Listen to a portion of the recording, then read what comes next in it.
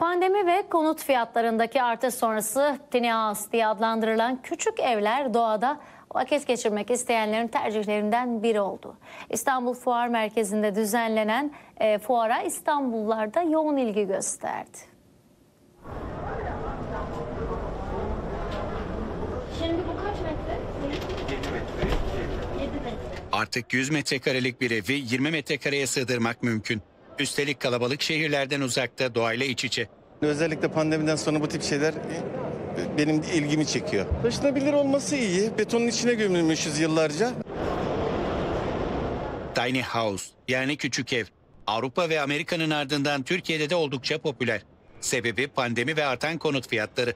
Bir evde bir insanın ihtiyacı olan her şey yer alıyor. Yani müstakil ev ihtiyacını karşılayabildiği bir ortam hazırlıyor bize. Tiny house'lar her ne kadar metrekare olarak ufak olsalar da içlerinde salon, yatak odası, mutfak ve banyo bulmak mümkün. Şu an içerisinde bulunduğumuz küçük evin kullanım alanı yaklaşık 39 metrekare. Fiyatı ise 380 bin liradan başlıyor, 500 bin TL'ye kadar çıkıyor. 8 metre, 7 metre, 6 metre yani 4 metreye kadar olan yapılarımız var ve bunlar yükseklikleri ve içerisinde bulunan oda sayılarına göre değişiyor.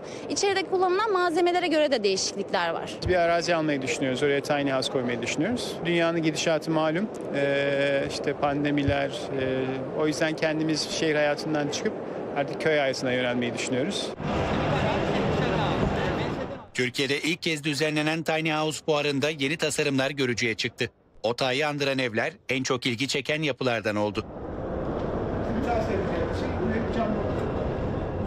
Maliyetleri düşük, ısı izolasyonu e, oldukça iyi seviyede ve en önemlisi de estetik bir yapı türü. İstediğiniz gibi dekor edebilirsiniz. İki bölmeli bir oda yapabilirsiniz. İçerisinde zaten tuvaleti, banyosu e, var. Fiyat aralığı nasıl peki? E, 60 bin TL'den başlıyor.